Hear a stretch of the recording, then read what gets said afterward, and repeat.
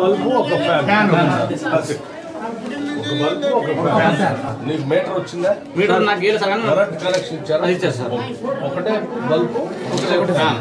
ఎంత వస్తుంది బిల్లు? పోయిన నెల సార్ రెండు నెలలు కింద వచ్చేసినాయి ఇగో పదకొండు వేలు ఉంది సార్. పదకొండు వేల చిల్లర ఉంది. సార్. ఎనభై ఐదు రూపాయలు. ఇక్కడ మీళ్ళు ఎక్కడ? మీటర్ లేకుండా మాకు ఎనిమిది వేలు పది వేలు వస్తున్నాయి సార్. మా పేరు ఏమి కేసీఆర్ మాకు ఎట్లా చేసినాడు రెండు వేలు అని చెప్పిండు రెండు నెలలకు ఒకసారి పింఛన్ ఇస్తాడు. మాకు కరెంట్ బిల్లు పెంచిండు. మాకు ఎక్కడ లేకుండా నల్ల బిల్లు కరెంట్ బిల్లు ఎక్కడ కాకుండా ముసలికి చూస్తలేడు ఎవరికి చూస్తలేడు పదిహేను వేలు కట్టాలి.